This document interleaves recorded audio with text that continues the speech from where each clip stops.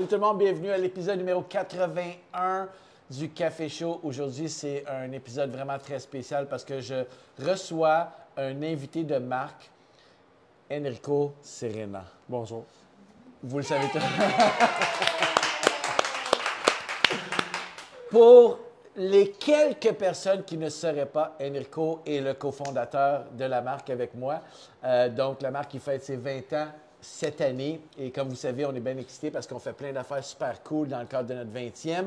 Notamment ce tout nouveau sac magnifique que j'adore vraiment, qui vient d'être lancé cette semaine, qui est notre mélange 20e anniversaire. Et contrairement à tous les autres euh, produits estivales que l'on celui-ci, on va le garder tout le temps. Hein?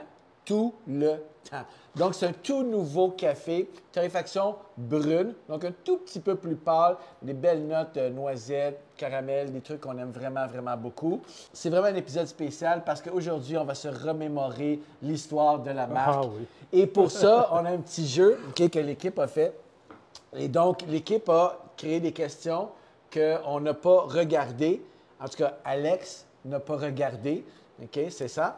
Puis là, Enrico, on pige à notre, chacun notre tour une question. Parfait. Puis euh, ben, ben, c'est l'autre qui va répondre à la question. Je Fait que commence. tu commences. Vas-y, vas-y. commence.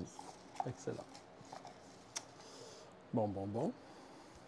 Combien de café dans un sac? combien de graines de café dans un sac de 500 grammes? Y a-t-il un produit qui vous a donné plus de fil à retordre? Oh. Ça. Attends. Ça marche pas, là. Y a-tu un produit qui nous a donné plus de fil à retordre? Oui. Non, mais c'est parce que moi, je tarifie pas, tu Le décaf. Oh. Oui, ben oui, le décaf. Pourquoi le décaf? Ben, Parce que le décaf, euh, c'est un produit qui, à la base, est déshydraté. Alors, euh, ça prend euh, beaucoup plus de- d'attention à la torréfaction. Fait que, puis, euh, ça arrive parfois que, mettons, euh, on, on scrape le décaf. Fait que là- oui. Ah, ouais, OK. ben, Ouais, je suis content que c'est On- pas moi On qui ai n'est pas ça. si bon que ça. Fait OK, que- mais petite question, là, qu'on est sur le décaf. Pourquoi il est toujours un petit peu plus foncé? Mais vu qu'il est déshydraté, le décaf, euh, c'est quand même possible de le torréfier euh, mi-noir. Il faut toujours le torréfier légèrement plus foncé pour euh, aller chercher les, les notes dégustatives qu'on veut faire ressortir de ces produits-là. Si on torréfie trop pâle, le décaf, il goûte comme vraiment pas bon. Ah, Ouais, que, c'est bon. Puis si c'est Alex qui clarifie, c'est clairement pas bon. Pas bon. Oui, c'est ça. OK, là, mais là, vu que c'est moi qui ai fait la question, Ben, je t'en fais une autre. Le droit Parfait, excellent. Fait que, euh, on continue. Quels sont les avantages et les inconvénients de démarrer une entreprise avec son meilleur ami? oh. ben, il n'y a pas vraiment d'inconvénient, hein?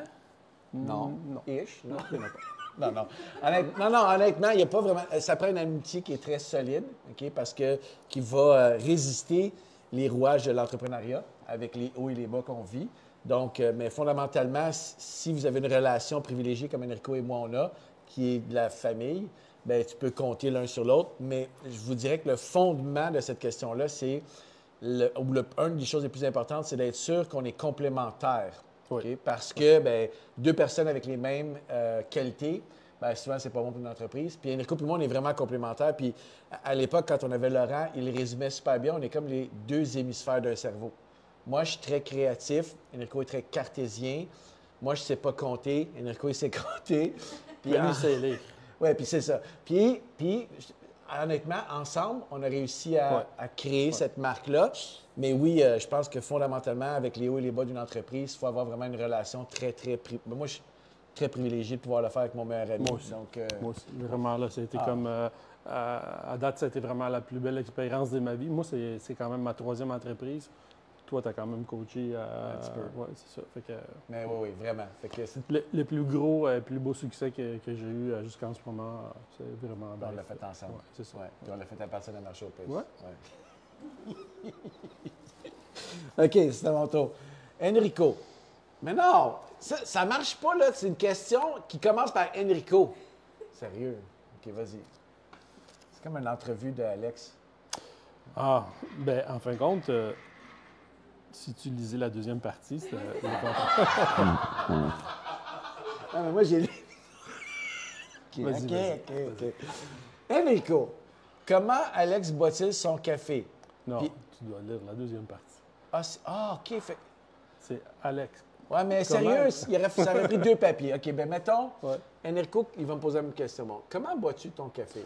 Mais moi, je suis un puriste, euh, fait que mon café, apparemment, je bois. euh, Oh non, OK, c'est pas ça. c'est quoi? Moi, je suis supposé dire. OK, mais honnêtement, c'est difficile, c'est là. OK, moi, je suis supposé dire comment toi, tu bois ton café. Puis toi, tu dis comment moi, je bois mon café. OK, mais tu réalises qu'on n'est pas capable de lire un Non. petit. ben, Puis honnêtement, quand ça, ça arrive, ce qu'on fait, c'est qu'on blâme Jeanne. Jeanne, OK, Jeanne. Parfait, c'est bon. OK, bon. Moi, je- Enrico, il boit son café nature, espresso, simple, Aziz. Des fois, court, une- des fois, une petite pointe de sucre. Oui, Des fois. ouais, des fois. OK. Ouais, ouais, ouais. Puis, euh, puis c'est pas péjoratif, là, le, le sucre, là. Euh, justement, si on fait bien oxygéner le café, ça donne des petits profils. euh, Oui, oui, quand on rajoute. Ben, le, le café comme tel, il pousse euh, déjà dans une coquille qui contient un liquide qui est très sucré. Alors, quand c'est c'est de la chimie, quand euh, c'est comme la cuisine, quand on rajoute du sucre dans, dans le café, ben, ça fait rehausser les notes, euh, les notes chocolatées, justement, justement de ces, de ces produits-là qu'on boit. ouais. Alex, lui, il boit son café selon la température. Fait que des fois, c'est un café filtre, des fois, c'est un, un cortado, des fois, c'est un. C'est tellement vrai. un- c'est quoi l'autre affaire? Un, Eh, moi, j'ai un flat white? un flat white. By the way, scoop, cortado, flat white, euh, toutes ces affaires-là, cappuccino. Une fois qu'on met le, le spoon, la, la- la cuillère, La cuillère. puis on brasse, ben, c'est fait avec du lait. toute la même affaire. Mais c'est vrai Non, non, c'est pas vrai, c'est pas vrai, mais ouais. Je suis pas fidèle, moi, tu sais. Ouais. Mais puis dernièrement, dernièrement, honnêtement, je me suis procuré le Mocha Master. Puis je bois le matin des cafés filtres. Ce que je buvais moins avant, là. Puis avec cette machine-là, pour sérieux, c'est hallucinant comment c'est bon. Mais mes cafés filtres, je les bois nature.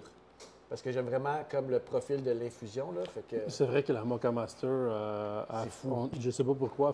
Je pense que c'est parce que contrairement aux autres machines domestiques, elle, arrive à infuser à une température. euh, supérieure et la répartition de l'eau. C'est Ouais. exactement comme si tu fais toi-même un dripper, Ouais. mais au moins, c'est, c'est vrai, c'est machine comme un spray. euh, C'est ouais. hallucinant. Ouais. Donc, euh, on va faire une promotion sur la Mocha Master. Je vais en parler avec Maude. OK? OK. Là, on va essayer de voir si on est capable de figurer cette question-là, tu sais, à deux. OK. Parlez-nous de votre meilleur souvenir des 20 dernières années. Ah, ben c'est cool, c'est euh, super facile.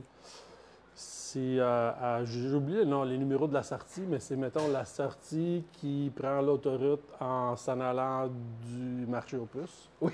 Puis c'est que, comme, on ne retourne plus jamais là. Honnêtement, Non. tu vas, tu vas scooper, mais tu là, moi, avec. C'était un peu tough, le marché au pire. C'est que, idéalement pas, mais mettons un autre souvenir Mais agréable. bon, euh, moi j'ai un souvenir euh, très vif de la journée qu'on a acheté notre torréfacteur, puis la journée qu'on l'a allumé. Puis euh, je me souviens très bien, j'étais comme Murphy's Law is gonna kick in, puis on a allumé le torréfacteur, Murphy's Law kicked in, puis il fonctionnait pas.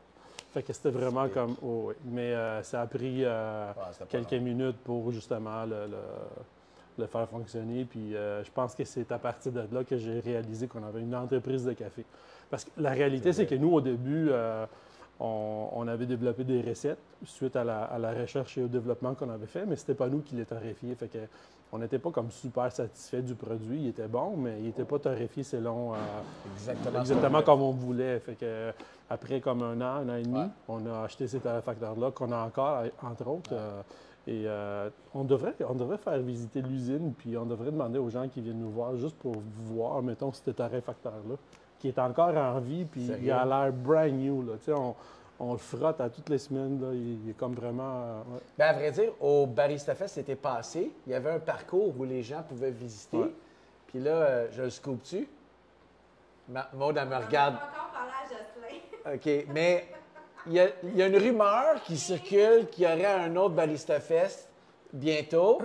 Puis si on jase à Jocelyn, puis on est super gentil, peut-être qu'il y aurait un autre parcours parce que honnêtement, c'était une des stations préférées des gens Ouais, d'aller ouais. visiter la torréfaction. Fait que j'espère juste que Jocelyn nous entend pas. Non, non, mais c'est cool. Puis cette année, en plus, on a, on a refait notre entrepôt. euh, on a des nouvelles mezzanines. euh, c'est vraiment encore. espacé. Oui, c'est mieux organisé. euh, fait que, on a quand même pris une, une forte croissance, fait qu'on manque d'espace, mais on, a, eu- on a été obligé de, de réorganiser, mais c'est vraiment nice. Là. Non, fait On va jaser à Jocelyn. Ouais. C'est sûr qu'il va dire oui. Ouais. Fait que Jocelyn, si jamais ça passe dans ton Oui. fil, C'est oui. Moi, mon moment, c'est des moments. Puis c'est drôle, hein, parce que ça concorde avec ça. On a fait plusieurs itérations de, de la marque, tu sais, plusieurs packaging. Tu sais, on- au début, on avait l'étiquette, puis de l'étiquette, on a créé le bandeau. Puis ça, le bandeau, euh, si José nous écoute, il, aime vra- il était- il aimait vraiment ça, C'est les une bandeaux. super idée, Oui, c'est une super idée. Ça retourne pour les 20 heures, le bandeau. Oui, non. est-ce qu'on peut dire, mettons, l'idée du bandeau, d'où ce que ça vient? On peut Mais à vrai dire, oui, absolument. L'idée du bandeau, c'était super simple. C'est qu'à cette époque-là, on, on voulait passer d'une étiquette à un packaging différenciateur. On n'avait pas encore les moyens d'imprimer des sacs. Fait que là, on a fait euh, quelques exercices pour essayer de trouver quelque chose de différent. Puis à cette époque-là, les sacs comme ça, là, avec un plancher, ça n'existait pas vraiment. C'était des longs sacs qui ne tenaient pas debout. Fait qu'on a décidé de créer un packaging unique avec un bandeau. Ben, tu t'en souviens peut-être pas. On était au Carrefour Laval, on se promenait, puis il y avait un coffee shop ou une place à café qui utilisait Une un- boîte. une petite boîte. Pour tenir les Pour- sacs. non, c'était pas pour tenir les sacs. C'était une boîte avec euh, des messages promotionnels tout autour. Puis en la regardant, ouais, on a ouais. fait comme Ouais, on pourrait mettre un sac là-dedans, puis ça. c'est vrai. C'était ça. Sérieux. Ouais, au Carrefour Mais oui, oui, c'est vrai, c'est vrai. Non, non, c'est vrai. Oui, ouais, non, non. Puis de là, la boîte, puis là, les sacs qui ont arrêté de tomber Ouais. sur les étagères. Puis de là, on a commencé à dire on peut faire des concours dedans. Puis on faisait à l'époque, ça c'était avant le web, là, des, on mettait des tirages à l'intérieur du bandeau. Mm. Puis les gens, oui, oui, oui, les gens nous envoyaient, parce que tu mettais ton adresse, ton nom, un timbre, une enveloppe, puis ils nous envoyaient le bandeau pour pouvoir participer au tirage d'un kilo de café. Ah, c'est vraiment ça. C'est ça. Puis les bandeaux, ils étaient faits. Moi, j'ai plus de sensibilité dans mes Ouais, doigts, non. justement. Ils étaient collés un par un avec la colle chaude. Euh, fait que maintenant, c'est Ah ouais, comme. non, non, non, non. Non, non, non, ris pas, mais c'est vraiment ça. Puis là, pendant qu'on le dit, si Jocelyn il écoute ça, puis il, il entend le mot bandeau, je sais que c'est le directeur de production, il sera pas content. Ouais, mais Jocelyn est arrivé chez nous à la fin des bandeaux. Il a, il a pas vécu. Nous, on a vécu les bandeaux Ouais. pendant comme 4-5 ans. Lui, il les a vécu pe- pendant Ouais, une année. Fait que hey, Jocelyn, il Ouais, c'est vrai. OK, non, tu peux pas chialer. OK, mon moment, pour revenir à mon moment, OK, c'est vraiment les, toute les- l'évolution de la marque. Parce qu'il m'a comme volé du couple, là. Mais non, non, honnêtement, c'est vraiment toutes les fois où est-ce qu'on a fait ce changement-là. Après ça, les bandeaux, c'est le sac imprimé. Puis maintenant, puis, honnêtement, je trouve tellement que c'est cool l'évolution d'une marque. Pour ça, c'est un, un beau terrain de jeu créatif, tu sais. Puis là, ben, comme il n'y a pas de bandeau, tout le monde est content. C'est quoi la particularité de ces sacs-là? Bien, celui-là, ce qui est vraiment cool, c'est qu'on est allé dans la couleur, OK? Mais, mais, c'est un sac Ah, ah. qui est recyclable. Ah. Honnêtement, ça a pris du temps avant de trouver une solution recyclable, vraiment recyclable. Puis on est super fiers de ça. Fait que, oui, il est beau, il est vraiment cool, mais c'est notre premier sac recyclable. Donc, vous pouvez le mettre dans le bac bleu. Vraiment cool. Et pour nos 20 ans, comme il a dit tantôt Alex, euh, on a été un peu outside of the box.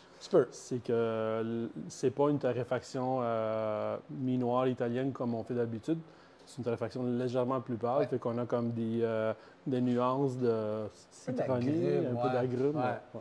Ah non, c'est vraiment, vraiment cool. nice, Ouais, ouais. vraiment, vraiment. Fait que bref, puis ça, clin d'œil à Jocelyn, notre euh, directeur de production et maître torréfacteur. Donc, ah, celle-là est écrite à la main. C'est comme arrivé un petit peu euh, comme une dernière minute. Question de Laurent.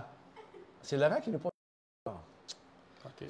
OK, ça, c'est Laurent Cugnot qui a posé une question qui est Parlez-nous du bar à Dripper. OK. Ouais, bon, le bar à Dripper, là. La genèse du bar à espresso mobile que vous voyez de temps en temps là, dans des événements, c'est vraiment cool, là, où est-ce qu'on a deux machines espresso puis qu'on aime vraiment beaucoup. La genèse de ça, c'est euh, comme on voulait tester un peu ça, ben, on avait créé à l'époque un bar pour faire du dripper. Le dripper était le porte-filtre. Puis on avait fait un événement vraiment incroyable avec Laurent et l'événement nous avait mis dehors. Non, pas à la porte, là. Non, non. Il nous avait positionnés. Tu sais, C'était un gros événement à l'intérieur. Puis nous, on avait le bar à Dripper dehors. Fait qu'il n'y a personne qui venait au bar à Dripper. Eric était là aussi, je pense. Non, ça, non, ça c'est l'époque, euh, puis on avait David, puis euh, je pense Jocelyn, bref. Fait qu'on était dehors, puis on faisait pas beaucoup de café. Mais, mais, mais, le positif de ça, Ça, ça a mûri, puis c'est devenu le bar espresso mobile, que là, maintenant, les gens apprécient quand on va dans des événements, puis qui est vraiment cool. Mais ouais, c'était une soirée vraiment, Oui. oui, très longue. Et Eric Riel, Merci, si Laurent. jamais vous voulez euh, engager quelqu'un pour faire des bars à, à Draper, il est vraiment comme. euh, comme Non, non. Il y a la technique avec les coudes. Non, non, non. Eric, il fait pas de bar espresso. Non, non, non. Eric Riel, 514 514 Ah oui, c'est tonton. OK. Ah, celle-là est vraiment bonne, puis j'espère que tu la réponds bien. Ah. Pourquoi le nom, pourquoi le nom barista? Comment l'avez-vous choisi? Hey, by the way, désolé, je suis comme un peu enrhumé. Fait que, Mais honnêtement, euh, ça, ça te revient, là, ce nom-là? ouais. Parce que le nom de l'entreprise, ça s'appelait les Maîtres du Café. Facteur. Non, non, c'est les Maîtres du Café. Non, non, je m'en souviens, là. Puis là, on était comme, ouais. Puis là, c'est ça. Puis là, il fallait trouver quelque chose de mieux que ça. Puis c'est toi qui es arrivé avec ce nom-là, barista. Oui. Ouais, parce- Puis- oui, c'est vraiment Ouais, ça. ouais, c'est ça. On était comme euh, au début de, mettons, euh, l'évolution barista en. Amérique du Nord. Et euh, moi, je revenais d'Italie, justement. Puis ben, un barista, c'est un professionnel du, du bar, un professionnel du café, si on veut. Puis euh, je me souviendrai toujours qu'un commentaire de. On peut mentionner son nom, Stéphanie, Ben oui, Stéphanie Bergot, oui, qui nous a, c'est ça, qui nous a dit justement, oh my God, le nom barista, vous avez vraiment été audacieux à, à utiliser ce nom. Puis, euh, ben, nous, en fin de compte, on a, on a étudié ce métier-là comme chez un torréfacteur qui existe depuis 1880 quelques, euh, en Italie justement. Mhm. Fait qu'on était assez confiants de, de utiliser ce nom parce qu'on on pensait vraiment de savoir. On savait pas tant que ça, mais on Ouais, pensait. Il y a 20 ans, l'industrie du, be- du Ouais. breuvage en général, c'était ses premiers balbutiements. Aujourd'hui, avec du recul, on regarde euh, la bière, on regarde le vin, euh, puis le café en fait partie. C'est toutes des industries qui ont comme évolué énormément, qui ont pris beaucoup de place. C'est le fun parce que c'est le consommateur qui a tellement plus de choix. Fait que nous, on, puis nous, on s'est toujours positionné dans l'espresso italien. C'était un peu normal, là, le mot barista. Mais ça nous a rendu vraiment justice. Ça, ça, ça t'appartient 100% Je ne sais même pas c'était quoi. Zéro. OK. Ah ouais, OK. Quel produit êtes-vous le plus fier d'avoir lancé? Ça. Ah. Moi, je, honnêtement, je- j'en ai pas. Non, c'est. Ben. Je sais pas. Mais probablement les crémonies. Ah ouais. Probablement. Ben, le crème- le- c'est notre produit fort, mais moi, je suis un peu biaisé parce que je suis un peu je suis le créatif. Fait que moi, je te dirais que c'est plus toutes les éditions spéciales. Ben, il y, a deux, il y a deux volets à cette question-là. Parce que Il y a- c'est ça, mais il y a- il y, a le volet créatif, Ouais. visuel, du sac, du marketing, puis après ça, il y a le produit. Ouais. Ah, ouais. Puis c'est un bon point, ça, parce que sou- souvent, on nous pose la question, tu sais, nous, on est super bons à faire des trucs qui sont cool, qui sont beaux, puis qui sont le fun, mais ça a toujours été la valeur numéro un, c'est ce qu'il y a dans le sac. Fait que c'est cool que ça soit beau, puis tout ça, mais il faut que fondamentalement, le produit soit bon. Ouais. Puis on a toujours été choyé de un. Surtout que tous les gens avec qui on a travaillé, au- puis Jacin, c'est un bon exemple, qui, ont- qui sont devenus des maîtres torréfacteurs chez nous, ils ont tout ce souci-là de vouloir travailler la matière première. En passant, j'ai entendu dernièrement que quelqu'un quelqu'un m'a fait un commentaire, m'a dit Ah, mais là, vous êtes rendu tellement gros, euh, vous êtes commercial. Non. Euh, en plus, ce qui est vraiment euh, important, c'est que nous, on tarifie encore lentement. Un- Une torréfaction chez nous, ça prend encore 20, 22, 23, 24 minutes. On n'a jamais changé cet aspect-là. Puis c'est vraiment comme le, le- les trucs de, de, je pense, euh, OK, mais pourquoi on torréfie lentement? Mais on, torréfie lentement parce que euh, c'est comme ça que j'ai appris à torréfier.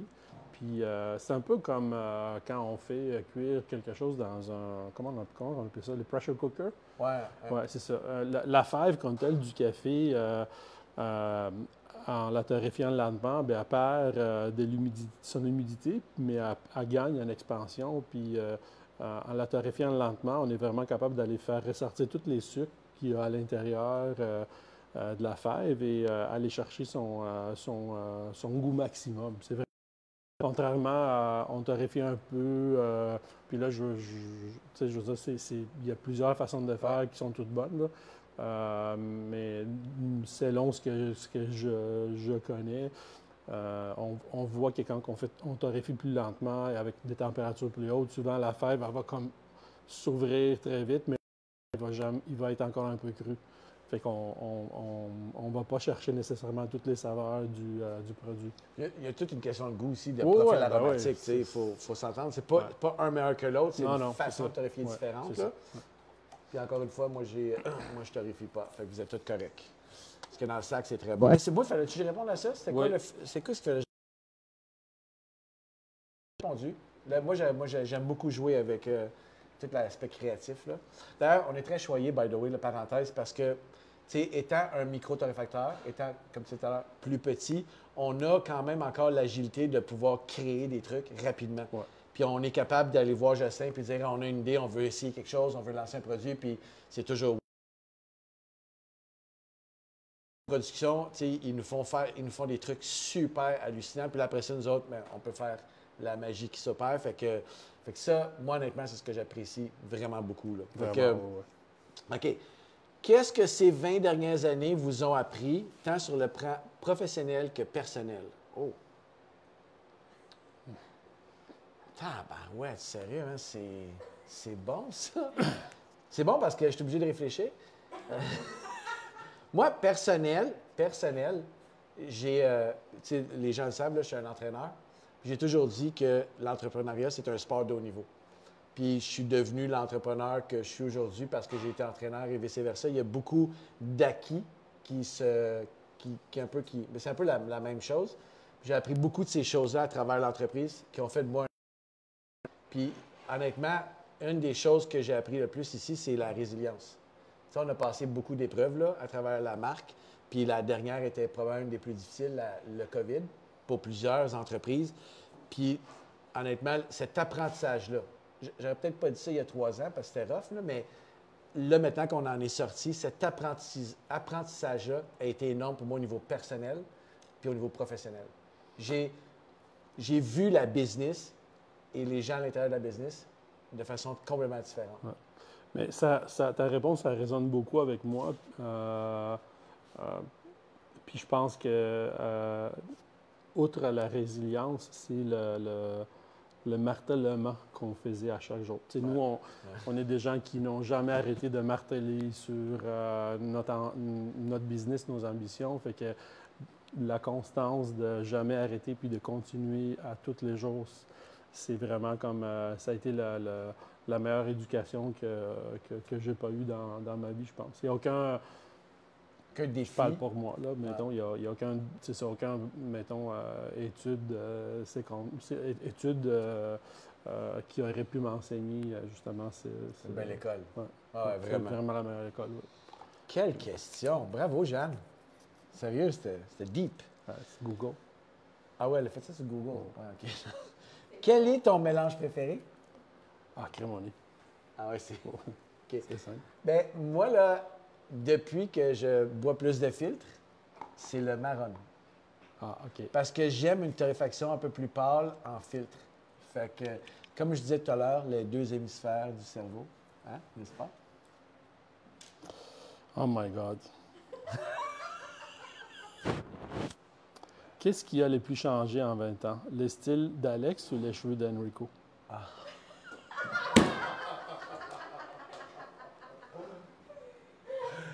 Mais honnêtement, moi, on m'a déjà dit que j'avais un style. Comment t'as dit ça, Maude? Caractériel? Non? Ben, c'est un nom, c'est un style. euh, eh ben, c'est très, typé, là. Oui, très typé, c'est ça. Mais ça s'est fait un peu sans que je m'en rende compte. Non, mais c'est ça. J'aime, j'aime les chemises carottées. Là, j'en ai pas parce que Maud, elle veut pas me faire une chemise carottée pour le brand. Mais euh, ouais, j'aime beaucoup les chemises carottées, les jeans. Mais on est passé par l'époque pyjama. Ouais, il y a été un temps où j'aimais les. On appelle ça des. euh, des leg. Comment on appelle ça, là? Des jeggings. Des, Ouais. ouais, des jogging. Ouais, c'est ça. C'est, c'est ça.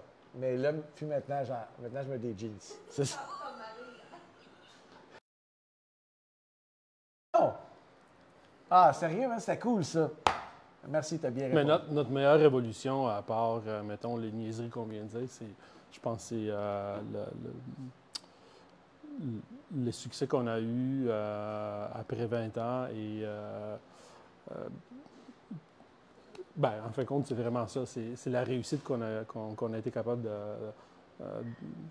d'avoir après, après 20 ans. c'est. J'y pense, puis ça, Ah, ça suis un peu émotionnel là, parce que je réalise pas que ça fait 20 ans. Puis, Mais c'est- cette réussite-là, elle, elle est attribuable à toutes vous qui nous écoutez en ce moment, là, toute notre belle communauté qui, au fil des ans, s'est agrandie, s'est agrandie. Puis, tu sais, j'ai toujours dit, les meilleurs ambassadeurs de la marque, c'est les clients et les gens qui suivent la marque. Puis c'est la preuve, vous êtes au rendez-vous à chaque café show, vous partagez notre contenu. Puis honnêtement, on prend pas ça pour acquis, là. C'est vraiment, on adore ça. Puis ça nous pousse à faire des projets, ça nous pousse à, des Barista Fest, des nouvelles éditions, puis ça nous pousse à créer des contenus justement pour continuer à, dans cette, dans cette Ouais. voie-là.